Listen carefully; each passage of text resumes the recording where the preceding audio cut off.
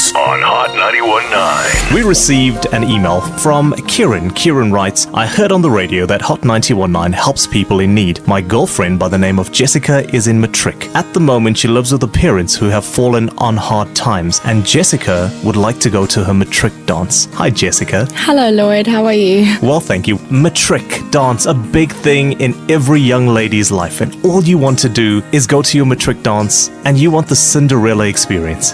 Definitely, hey. I've been working since the age of 16, trying to keep myself afloat. They told me this year that they unfortunately won't be able to help me out with my matric dress, so I decided to pay for everything myself, but realized that I won't have enough money in the short period of time.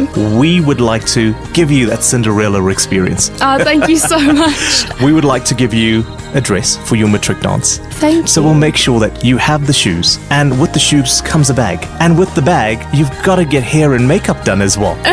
so we're going to take care of that. And Cinderella also needs a special carriage. So we've spoken to our friends at Ava Chauffeur Drive, and they're going to pick you up in a luxury vehicle to take you to your matric dance in style and bring you back. Oh, wow. Thank you so much. There's one more for you as well. You need a pamper experience. So we've spoken to our friends at Glenburn Country Lodge and Spa. We've decided that we're going to send you for a pamper morning and we're going to send two friends with you as well. So the three of you, courtesy of Glenburn Lodge and Spa. Hot Cares on Hot 919.